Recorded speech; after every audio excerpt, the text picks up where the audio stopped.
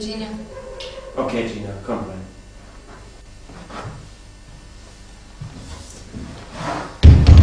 Wo ist Joey? Ich weiß es nicht. Du weißt es nicht? Wann habt ihr euch das letzte Mal gesehen? Hm? Das ist von Joey. Ich würde es gern bei Ihnen lassen.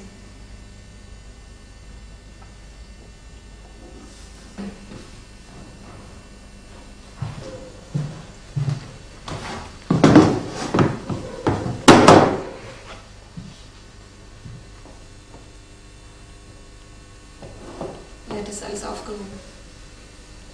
Es ist sowas wie sein Notizbuch.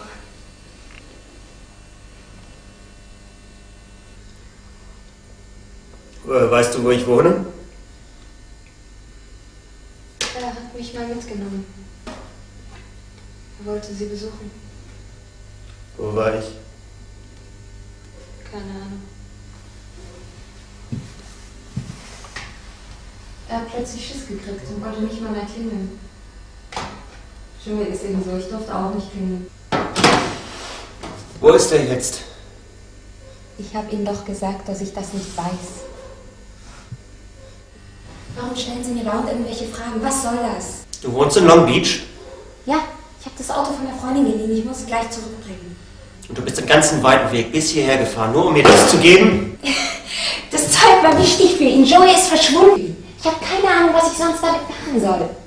Seine Mutter kann damit nichts anfangen. Was willst du von mir? Vielleicht erinnern Sie sich einfach mal daran, dass Sie sein Vater sind.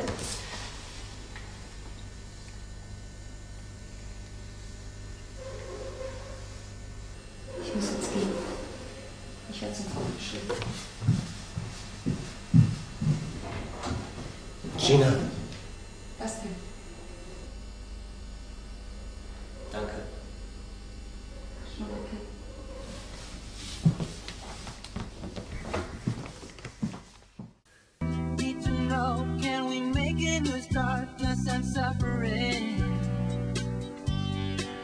Now we're apart I want you laying by my side tonight 28. April 1918. Du bist gut geworden. Dass du mich liebst. Das kann ich nicht. Es ist so schön, wenn wir miteinander schlafen. Ich habe nie behauptet, dass ich dich liebe. Ich habe dich aufgenommen, ich habe dich getröstet. Ich halte die ganze Bude picobello und ich habe dir sogar einen Job besorgt.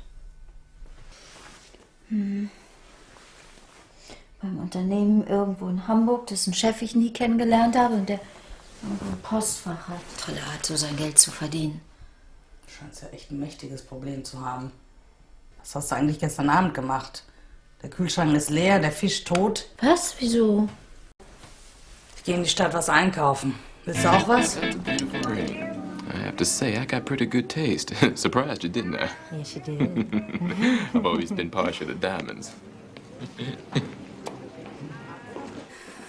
Bösartig ist das. Ich habe hier die Aussage